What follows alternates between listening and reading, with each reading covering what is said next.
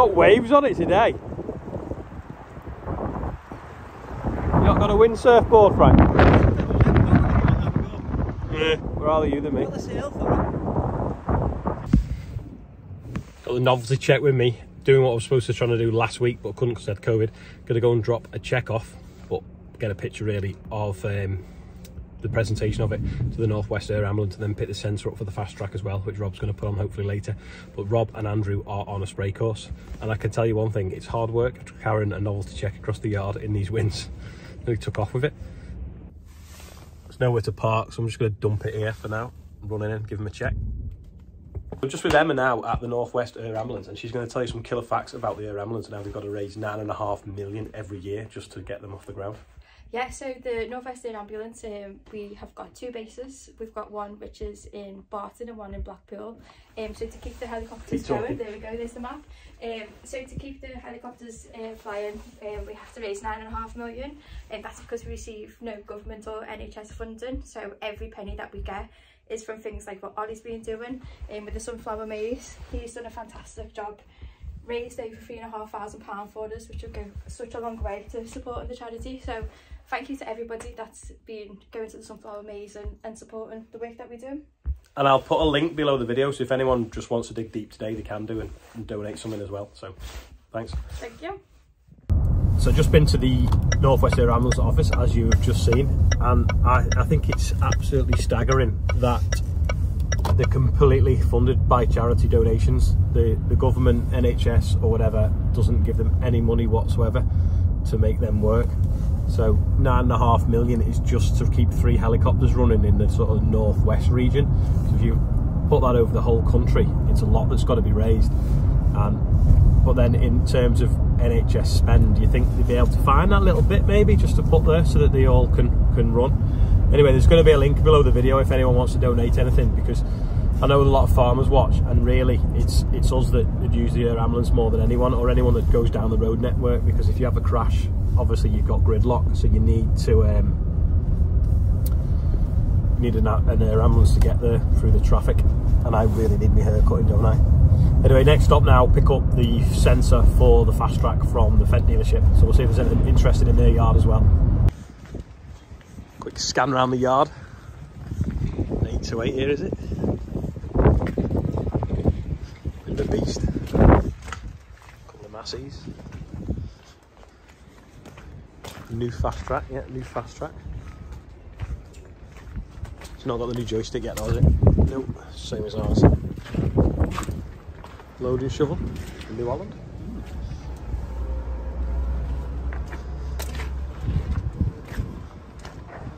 Seven one eight, little compact Massey as well. Just getting another flood update now. There's actual waves on it and there was ducks when I first pulled up. This shed's been up since 2004.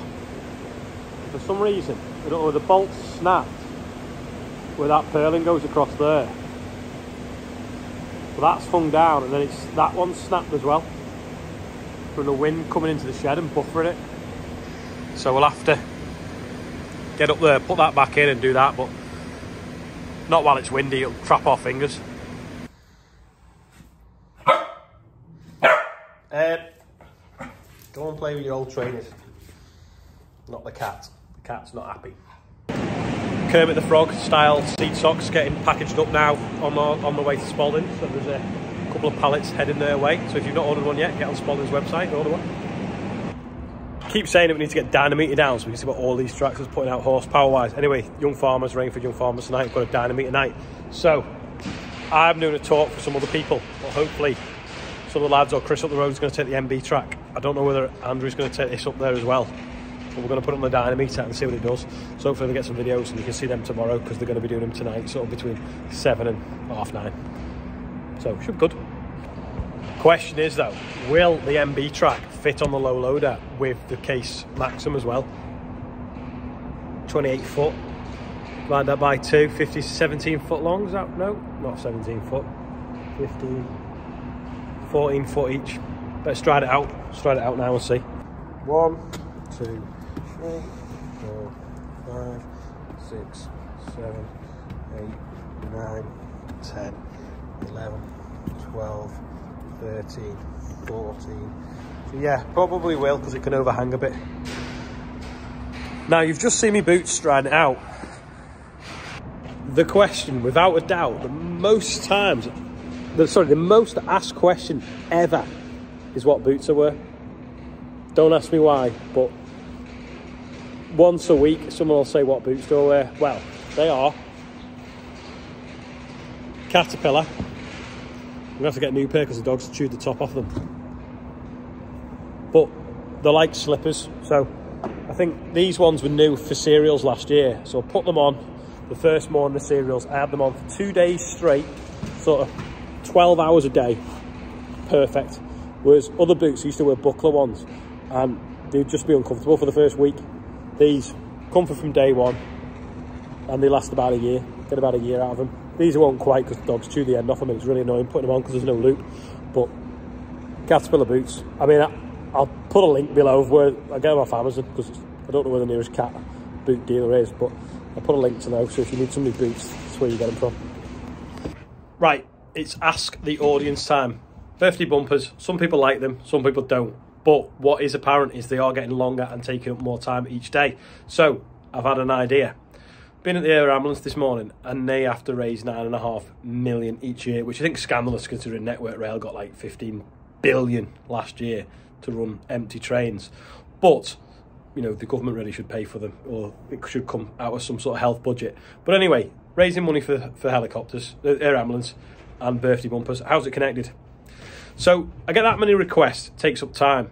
Now the requests would significantly drop if people had to pay to be on the birthday bumper. So what would people's thoughts be if I set up a JustGiving page which sent the money direct to the air ambulance, not through me because I don't want to pay the tax on it. And you went on, you left a donation and someone's name for their birthday, and then I then put it on the birthday bumper. So that would basically probably halve the amount of birthday bumpers, if not down to 10 20% it'd make it a little bit quicker for me and it'd make it a little bit quicker for those that don't want to watch the birthday bumpers and at the same time will raise much needed funds for the air ambulance just want to let ask the audience anyway what are people's thoughts on me doing that process because 30,000 subscribers now if it keeps growing they're just going to get even longer aren't they so what do people think do you think that's a good idea to, to sort of let people donate to charity in order to get someone's name on the birthday bumper let me know in the comments below anyway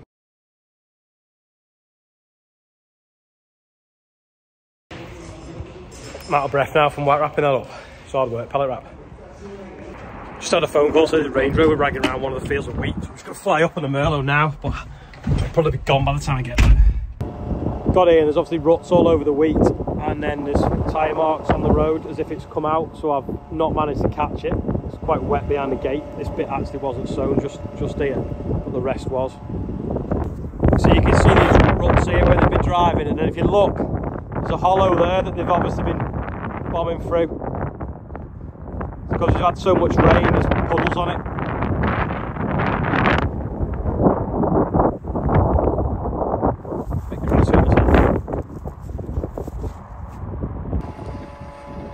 Not got enough gate blockers, so I've dug a trench now so they can't kind of get up and over it. And if they try, they get bridged on the top of it. They've smashed the fence on this field as well. I've been driving through here. It's an old rotten fence, so I've dug a trench on this one as well. This is also flooded from this dual carriageway. This is what the summer barley was on. I won't get out in the wind, but got a skip full of stuff they've rooted out there, pile of scrap they've rooted out there. Then we've got, I don't know, maybe a third of the pile left to do. All the hardcore that's been screened out of it's been took back in the dump trailers, and we're using that in the other yard. And then this is the soil that came out of it as well that needs uh, putting in a hole really I suppose. Drain a field better with it. Just quickly do the birthday bumper then I've got to go in and get changed because we're going to talk in a bit for some farmers. Anyway here is the birthday bumper.